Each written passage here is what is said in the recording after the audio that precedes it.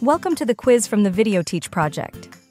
This one is about basic information and types of protection of the created content.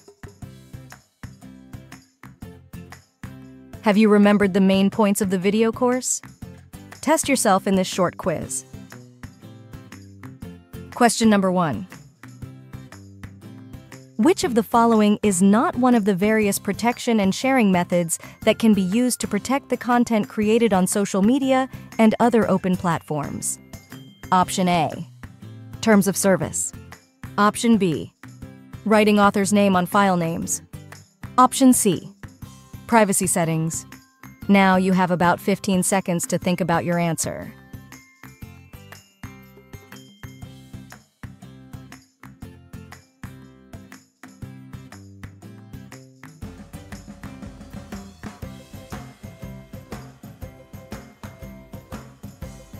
The correct answer is option B.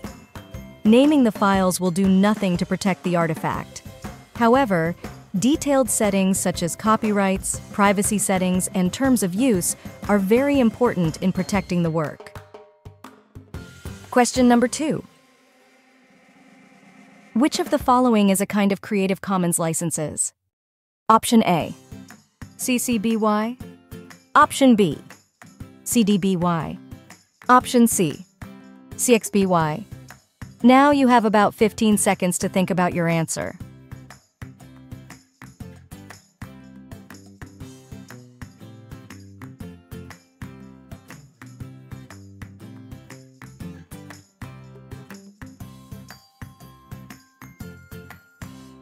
The correct answer is option A.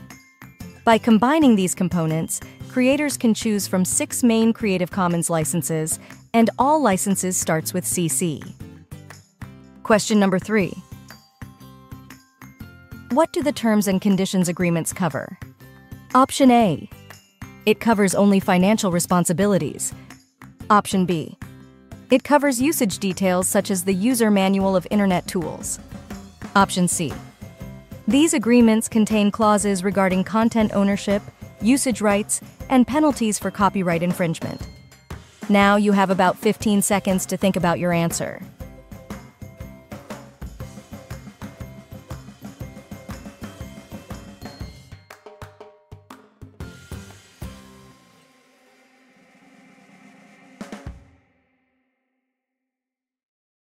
The correct answer is C. These agreements usually focus on content ownership, usage rights, and penalties for copyright infringement. Question number four. Which of the following are not essential components of CC licenses?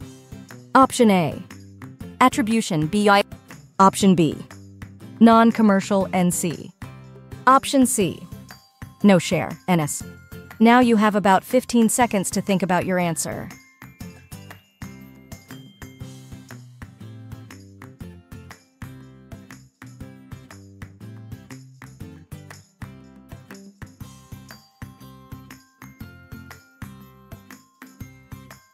The correct answer is C, no share.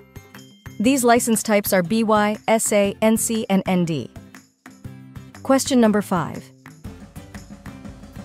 What is the watermarking? Option A. Writing on water. Option B.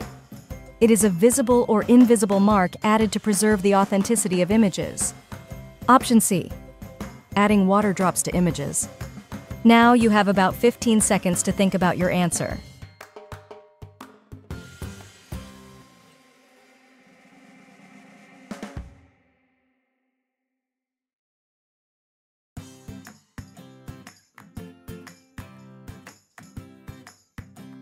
The correct answer is option B.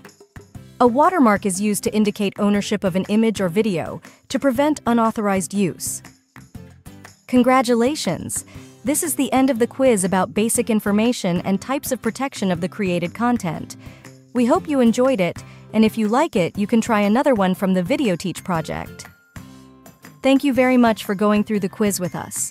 You can continue following us on YouTube or our other channels, such as Facebook or the official website of the project at videoteach.u. All the content of the VideoTeach project has been produced through the international collaboration of nine expert partners and is funded by the European Union.